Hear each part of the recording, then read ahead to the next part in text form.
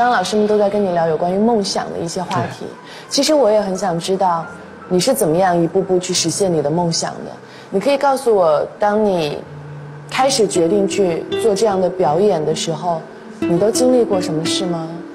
演演出上酒吧，然后我跟老板谈，我说我会迈迈克尔杰克逊啊啊，模仿迈克尔杰克逊，我说非常像我，说他觉得啊，那你就试一试吧。所以说你在我这儿先演一个星期，我跟他谈好价格。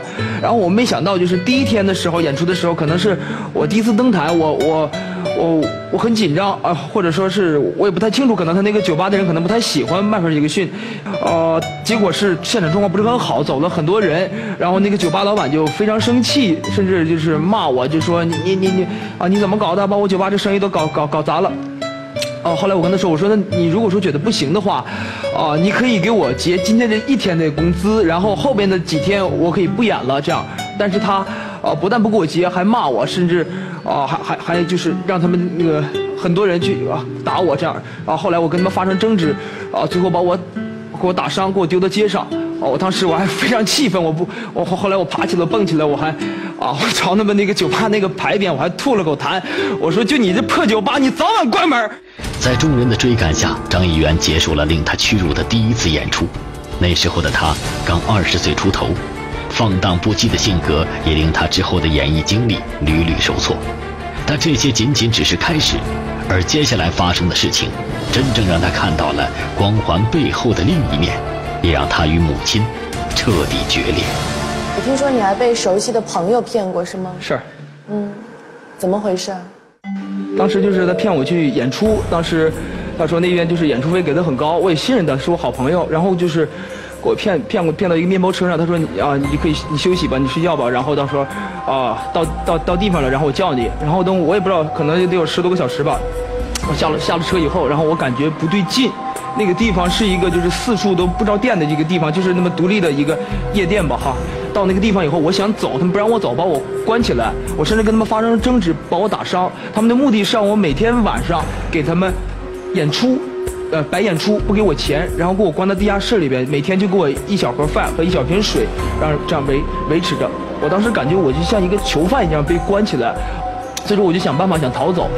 但是根本没有机会。后来有一次，他们现场因为现场有有客人，他们喝醉酒，还有闹事儿打架，很多人都被吸引过去了。当时我就我就抓住这个机会，我就打倒了看我的那一个人，然后我就跑出去了。我就一路跑一路跑。大冬天，我当时跑的，我我衣服都被树枝刮坏，因为大道我不敢走。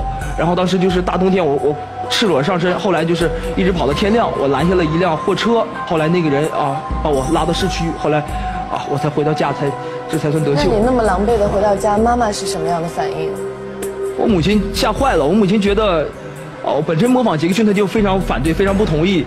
啊，这一下子就是又又被人关起来，他觉得我这个人身安全都成问题了。着急上火呗。后来就是在晚上的时候，他剪我头发。睡着了，我悄悄的叫，刚叫一小绺，他就发现了，急眼了吗？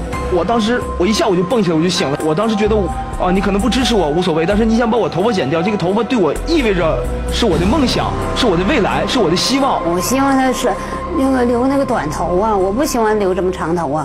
我在之前已已经没有办法放弃过很多梦想了，所以说今天我不能再放弃这个。我当时一气之下，我拿着包我就跑了，我就到北京了。我我也急了，他也急了。所以你来北京是离家出走？离家出走。那我背着心三两天就回来了，呢那那哪寻思那么长时间？北京你有朋友吗？没有朋友，谁都不认识。他那是你第一次来北京吗？我第一次来北京。那你住在哪儿呢？找啊，我问的，我说哪里房最便宜？后来找着一个地下室，当时带了三百多块钱，然后到这边来，在租地下室啊，几乎都所剩都没没有钱了。我每天就吃馒头，吃咸菜，甚至咸菜都没有的馒头和酱油，我都。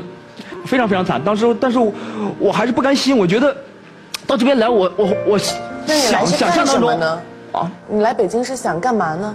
这边能够给我很多机会，我觉得我也能接到很多很多的演出，我觉得我也能够啊得到非常非常多的机会。但是我到这边来，我我到处去走，我看到啊走到大街上，我我看到有演出的，有办办演出的啊一些商场啊怎么办活动，我给给给人家啊留个电话号，我说我我可以模仿杰克逊，可以唱歌，我我非常非常厉害，怎么怎么样事儿啊有有的人就是啊你你走吧走吧，我们不需要，有的还留个电话号啊就再也没气儿了。所以说啊这种事情我。我就挨个挨个走，都都有几十个。当时我非常非常郁闷，我觉得，啊，啊，我我怎么会这样？我怎么怎么怎么怎么会到这边来？跟想象当中完全不一样，完全完全不一样。这样的日子过了多久？这种日子过了大概都有一个一个来月，后来我就房租交不起了，我当时我在地下室给我断水断电，房东哐哐敲我门，我在里边啊，在里边假假假假假装没人，有的时候假装睡觉，怎么怎么地的，最后把把我水电全给全给断掉了，没办法，我就拿着行李就跑了，跑到外边，我就找个地方这么一靠，大冬天我也没带什么衣服，后来我就那个时候非常抑郁。我那个时候发高烧，在外面冻着，发高烧，穿单衣服，因为我出来的时候非常着急，然后。当时我觉得我这走投无路，到这边来也找不着工作，我就发高烧。我当时，我甚至，当时我想不开，我想甚至想想过自杀。我站到那个桥上面，我就想往下跳。我看到很多车，很多车从那从我脚下经过。我当时想，我我只要跳下去，我就什么烦恼都没有了。什么啊这些什么这些啊干扰啊，包括这些不如意啊这些。幸亏有一个好心人，一个就是在那个桥那那块的一个要饭的。一个大哥，他把我给给我拦住了，给我一耳光。当时说：“你你这么年轻，是不是？你又不像我身体有残疾，你应该有你自己的理想去做，你不应该因为一点小事儿放弃生命。”当时我觉得他说这话说的真对，我当时就觉得，我真是一个耳光打醒我了。我觉得我不能这样，我来北京为了什么？我一定要重新开始。母亲的反对，旁人的冷眼，一次次的碰壁，一度让他有了轻生的念头。而与此同时，远在故乡年迈的母亲面对儿子的不辞而别，也深陷崩溃。那一刻，他对儿子所有的希望也一同破灭了。张一元在北京的四年间，到底经历了怎样的波折与坎坷？而与儿子多年没有联系的母亲，对这一切又是否了解呢？